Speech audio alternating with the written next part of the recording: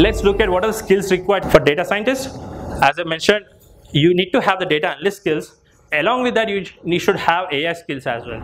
It's good to have some domain skills like uh, what do you mean by domain? There are computer vision, natural language processing, speech and robotics. So AI was able to uh, have some progress in these domains in the last 50 years. By computer vision, I mean, I mean whatever images that we see, the computers are able to comprehend what is in the image and what is happening, what kind of objects are there. That, that everything is uh, related in computer vision field. And now deep learning is uh, taking away the entire computer vision and making it machine learning uh, applications on top of it. Natural language processing, whatever you see in your chatbots, whatever you type, how do you comprehend what is the text that is coming in? What is the user asking for?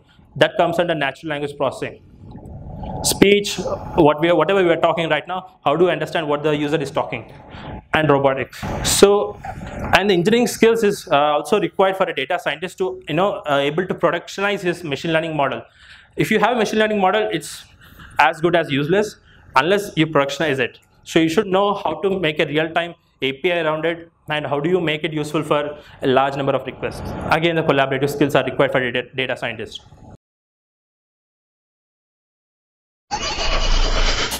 Acadgild. Average is dead.